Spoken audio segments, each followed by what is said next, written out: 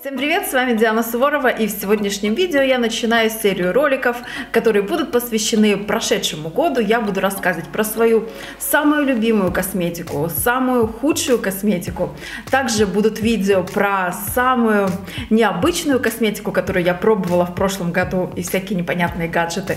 Так что, если вам интересна эта тема, обязательно подпишитесь на канал, поставьте колокольчик себе, чтобы не пропустить эти видео. Сегодняшнее видео, конечно же, будет посвящено но моим фаворитом за 2017 год это будет косметика, которую я неоднократно пользовалась, а, которую я неоднократно покупала, а, которую я могу советовать вам. В общем, здесь будет, конечно же, и люкс, здесь будет и а, бюджетные аналоги, в общем, все, чем я пользовалась. Так что давайте уже начнем. Конечно же, я начну с очищения лица, потому что без хорошего очищения, без чистой кожи не будет хорошего макияжа и здоровой кожи. В этом году я очень полюбила двойное очищение лица по-корейски, и в этом у меня были два вот таких вот помощника. Во-первых, гидрофильное масло от The Face Shop, которое растворяет макияж, делает кожу очень чистой и приятной. Во-вторых, это гель для умывания от корейского бренда Kazarex. Обожаю его, он прозрачный, э, с низким уровнем pH. А после него кожа не стянута, абсолютно чистая и готова, конечно же, к уходу и к макияжу. Вместе с этим гелем я использовала еще один мой фаворит и открытие этого года. Это, конечно же, очищающая щеточка для лица от Foreo Luna Go. Это самая маленькая очищающая щеточка для лица в мире, мне кажется. А, у меня есть на нее полноценный тест-драйв. Вот здесь вы можете посмотреть его. А, могу сказать, что этот девайс изменил мою кожу, мою привычное умывание, мою рутину. Можно сказать, что двойное очищение у меня превратилось в тройное очищение, потому что эта щеточка помогает очищать кожу еще лучше. В общем, я практически на 100% уверена, что э, при помощи Форео моя кожа более чистая, а, на ней точно нет остатков макияжа, а макияж я ношу каждый день. Каждый день я пользуюсь каким-то плотным тональным средством, потому что я много снимаю, а, я хожу на какие какие-то ивенты, в общем, практически каждый день я с плотным тональным. И при помощи, конечно, такой щетки я могу очистить кожу еще лучше, потому что она издает 8 тысяч пульсирующих движений в минуту. То есть тут специальная технология, и за счет вибраций, а не вращения, она помогает делать кожу более чистой. Кстати, у меня появилась вторая щеточка из моего новогоднего виш-листа. Видимо, Дед Мороз меня явно услышал, и теперь у меня есть вот такая вот версия, которая называется Фар Pareo Mini 2. Как вы видите, эта щеточка чуть-чуть больше, она более маневренная за счет вот такой вот зауженного здесь дизайна. Ей можно достать в такие очень труднодоступные места. А скорее всего я буду пользоваться ей дома, а с малюткой Luna Go я буду путешествовать. Кстати, скоро собираюсь в очень классное путешествие, куда возьму ее с собой. Самая популярная тема и самая популярная рубрика у меня на канале это, конечно же, тест-драйвы тональных основ. В этом году я впервые сделала неделю тест тест-драйвов, где на протяжении 7 дней тестировала только тональные средства. А если вам интересно пересмотреть все ролики, которые у меня были по тональным основам, возможно, вы в поиске какого-то, заходите в мой плейлист, там будут собраны все мои тест-драйвы. Начну я, наверное, с люкса. А, тональный крем, который сейчас на мне и которым я чаще всего пользуюсь на какие-то важные события, на съемки, это тональный крем от Lancome. Он вышел в этом году в новой такой упаковке, упаковке, в новой версии.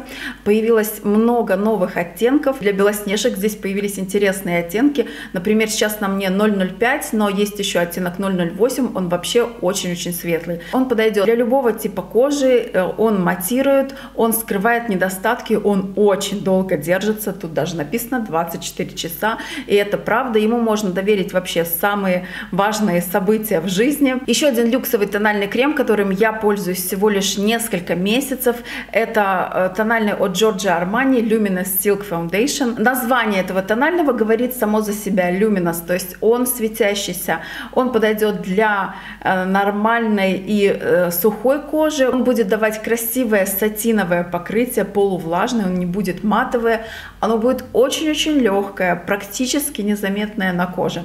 Я его люблю для каких-то повседневных, скажем, макияжей, когда мне нужно покрытие, но, скажем так, не сильно плотное. Я его обожаю. Конечно же, его минус – это его цена, это люкс, это дорого, но очень-очень классно. Ну а сейчас я покажу вам бюджетные варианты тональных, которые меня поразили, скажем так, в этом году. А, первое, которое я покажу, это будет бюджетный BB-крем от э, корейского бренда Холика Холика. У меня здесь увлажняющая версия. Вообще в линейке есть много других версий, которые я еще, кстати, не пробовала. Там есть и матирующие для проблемной кожи, и сияющие. В общем, у меня увлажняющая серия. Он всего лишь в одном оттенке, но он подстраивается под цвет кожи, хорошо все перекрывает, очень легкий, незаметный на лице, слегка влажный. Его нужно припудривать, так что для жирной комбинированной кожи не могу его посоветовать. SPF 30, прекрасный на лето, люблю с ним путешествовать. Обратите внимание, на него тоже есть отдельный тест-драйв на канале. Следующий тональный крем это CC крем, который я, к своему сожалению, попробовала только в этом году. Однако это бестселлер у Lumine, это знаменитый CC крем. А, наконец-то в линейке появился ультралайт оттенок для белоснежек. Он действительно очень светлый. Вот этот тональный крем я могу посоветовать для любого типа кожи. Для жирной, комбинированной, э, сухой, нормальной. Он абсолютно всем подходит, слегка матирует, э, имеет среднее покрытие прекрасно выглядит на лице. Если вам интересно посмотреть полноценный тест-драйв, конечно же, заходите в мой плейлист, там будет про него более подробная информация, но однозначно топ этого года. А, еще одно средство, которое я буквально недавно протестировала на своем канале, это супер бюджетный тональный крем от Art Visage, который называется «Устойчивый». Он просто поразил меня. Это действительно был какой-то бюджетный шок. За свои деньги это просто отличное качество, легкое покрытие, совершенно невидимый на лице, очень красиво и деликатно смотрится на коже. А, я, честно говоря, под впечатлением. Посмотрите обязательно мой тест-драйв на него. Мне очень много людей написало под тем видео, что действительно довольны этим тональным. Это очень хороший знак. Это значит, что мое мнение совпадает с вашим. Это очень круто. Кстати, все ссылки на продукты продукты, которые я буду сегодня показывать, вы найдете внизу под этим видео. Я всегда любила наносить тональные средства кистью, однако в этом году я познакомилась вот с такими интересными спонжами от Real Techniques.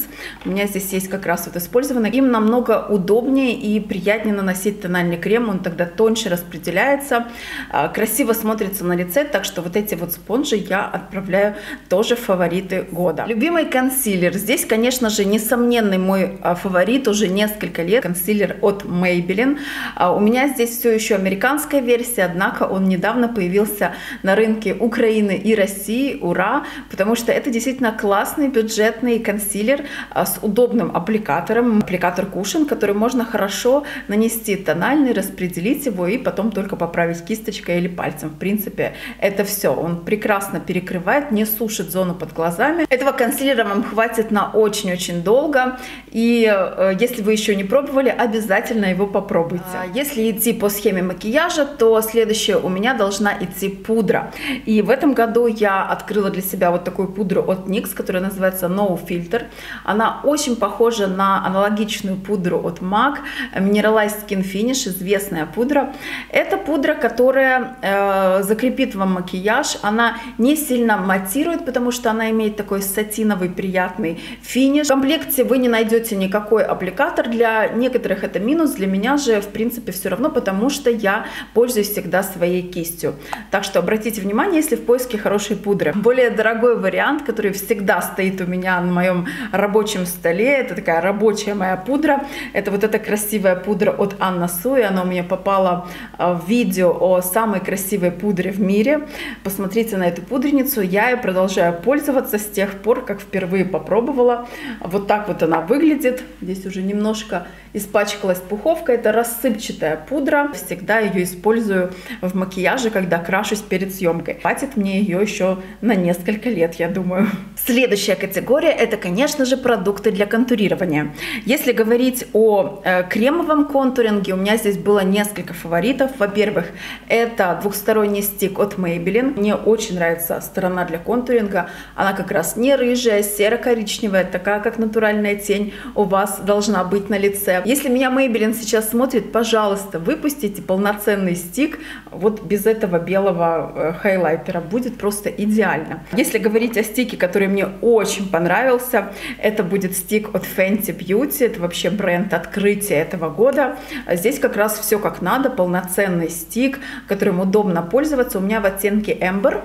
Он серо-коричневый. Хорошо подойдет для белоснежек. Если у вас более темная кожа, смуглая, он вам не подойдет, потому что он действительно серый. Он прям землянистый. Но мне он, кстати, очень понравился, в отличие от контуринга Ким Кардашьян. Но видео об антифаворитах будет чуть позже позже. Там я расскажу, что мне не понравилось. Если мы говорим о сухой коррекции лица, несомненно, мой фаворит это NYX Taupe. Бюджетный корректор, который должен быть у каждой девушки. Если говорить о люксовом контуринге, здесь, конечно, люкс подтянулся. Например, у Yves Saint Laurent вышла классная палетка для контуринга с таким правильным оттенком. Также у Lancome вышла вот такая интересная палетка. Контуринг, бронзер и хайлайтер. Очень красивые оттенки, тоже подходящие для белоснежек. У меня в оттенке Light to medium. Румяна я буду пропускать в этом году, потому что я, честно говоря, не любитель румян. Я редко ими пользуюсь, потому что имею свой хороший румянец. Я сразу перейду к хайлайтерам. И любимый хайлайтер, который я часто использовала, который у меня сейчас на лице. И вот когда он у меня в видео, меня часто спрашивают, что за хайлайтер. Это хайлайтер от Fenty Beauty. Он называется Lightning Dust и Fire Crystal. Это двойной вот такой вот хайлайтер. Посмотрите, Какие красивые оттенки шампанского. А, здесь есть хайлайтер более мелкого помола и чуть-чуть крупного с такими блесточками. Вот вдвоем они дают просто очень красивое сияние, свечение. Я все еще в поиске какого-то бюджетного хайлайтера, а, который можно вам посоветовать. Если вы знаете классный бюджетный хайлайтер, а, пожалуйста, напишите в комментариях, чем вы пользуетесь. Я постараюсь тоже протестировать, может быть, сделать отдельное видео. Пока что в этом году мне очень понравился Fenty Beauty Вообще хайлайтеры в этом году взорвали интернет, и макияж у нас были, и голографические хайлайтеры, и какие-то жидкие хайлайтеры, и стики, и все что угодно. Ходим уже к макияжу бровей, глаз и губ. А, для бровей мне очень нравился в этом году вот эта новинка от NYX. Это карандаш для бровей в интересном таком дизайне. С одной стороны здесь у нас удобная щеточка для бровей, и с другой стороны очень интересный карандаш. Чем он мне понравился? Во-первых, он плоский, во-вторых, он очень тонкий. Он практически сам вам нарисует ровную линию. Что мне еще нравится, в коллекции очень большая линейка оттенков. У меня самый популярный это, конечно же, Аш Браун. Если вы блондинка, то обратите на оттенок э, э, блонд. Если вы рыжеволосая девушка и хотите, чтобы ваши брови совпадали с оттенком волос, там даже есть оттенок и рыжий, что очень, кстати, большая редкость. Так что а, обратите внимание на этот карандаш. Самая интересная номинация это, конечно же, палетки теней цене. Здесь у меня есть несколько вариантов. Во-первых, самая интересная лимитка этого года – это коллаборация Морфи и Джеклин Хилл. Здесь очень красивые оттенки теней э, на все случаи жизни. Единственное, что мне не хватает, это, конечно же, более э, холодных оттенков, скажем так. Здесь все-таки она очень теплая. И надо сказать, что э, теплая гамма самая модная и трендовая в этом сезоне. Также часто рука у меня тянулась вот к этой палетке от Too Faced. Sweet Peach она называется. Она очень вкусно пахнет персиком.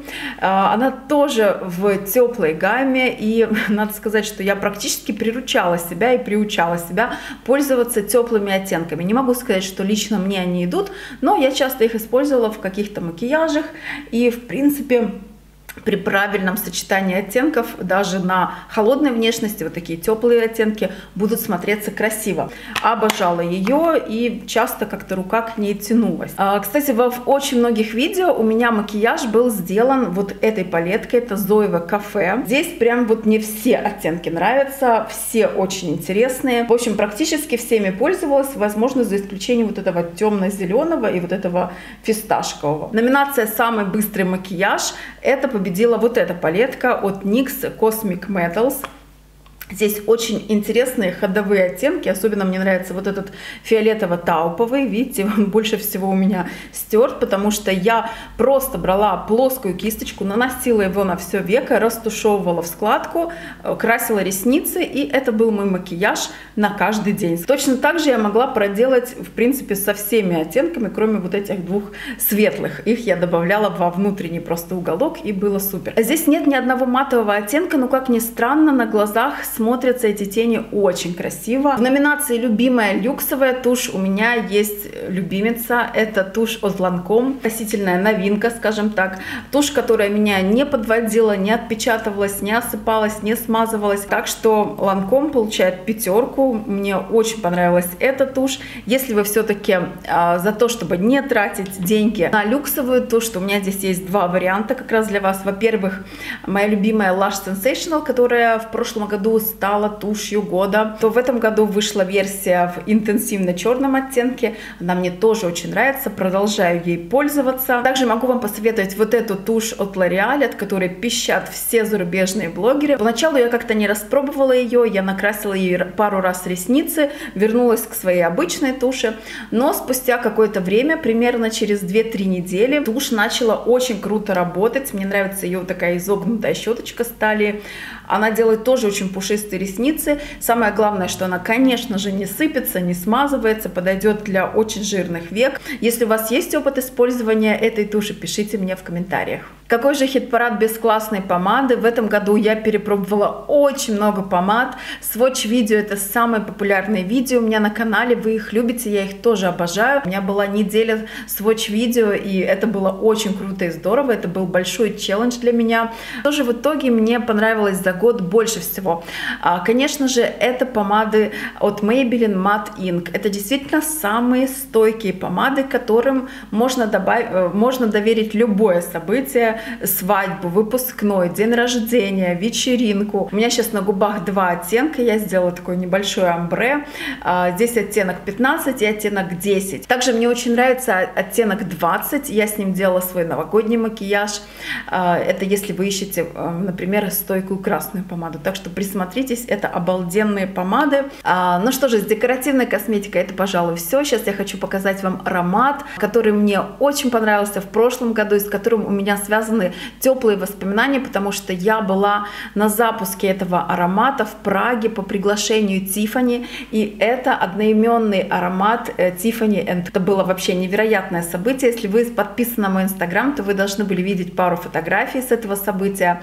Влоги я, к сожалению, уже не делаю на своем канале, поэтому вся самая интересная информация всегда в инстаграме. Подписывайтесь. Самая приятная новость и неожиданная для меня, что этот аромат запустился уже э, в продаже в Украине и в России на сайте Letu.ru и Letu.ua вы уже сможете купить, а, в общем-то, любую версию этого аромата. У меня здесь версия 50 мл, а, есть еще версия 30 мл и 75. Флакон этого аромата выполнен а, в точности так же, как знаменитая огранка бриллиантов этого ювелирного дома. Это, кстати, первый аромат за последние 15 лет, который выпускает Tiffany.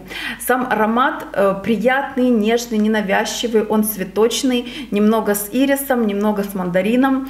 А, мне он, кстати, нравится. Сейчас вот надо его немножко вдохнуть и ощутить всю прелесть. Он не стойкий, он не шлейфовый, но мне он нравится, и в принципе это универсальный аромат, который подойдет для любого возраста. Мне всегда приятно пользоваться этим ароматом, потому что у меня с ним связаны такие нежные, приятные воспоминания об этой поездке. А если вам тоже интересно узнать, как пахнут бриллианты от Tiffany, то, конечно, зайдите в ближайший Латуаль или Бракарт, и, в общем-то, вы сможете это ощутить на себе. Также не могу не отметить мои любимые украшения, в которых я часто появляюсь в своих видео, которые я часто ношу в повседневной жизни. Это серебряные украшения от Пандора. Вообще Пандора у меня всегда ассоциировалась вот с этими браслетиками, с шармиками. Все от них без ума, все их любят, собирают на всякие праздники. Браслеты меня не так интересуют, как, например, подвески и кольца. Это мои любимые украшения. Я часто их меняю. Вот в этой шкатулке я храню свои украшения, которыми я часто пользуюсь. Здесь у меня в основном украшения Пандора. Кольца, а, всякие интересные украшения, например, а, вот эта подвеска с последней коллекции Disney, Пандора и Disney с маленькими Микки Маусами, такой, знаете, под футболку подойдет. Мое любимое украшение в виде вот такого вот кольца. Также мне нравится, что эти украшения между собой очень хорошо миксуются. Так что это ответ на вопрос, что за украшения у меня всегда в моих видео. Ну что же, это были все мои фавориты за 2017 год. Впереди вас ждет еще видео о моем уходе, также видео об антифаворитах, видео о самых странных продуктах. Ну и с наступившим вас Новым годом. Всем пока!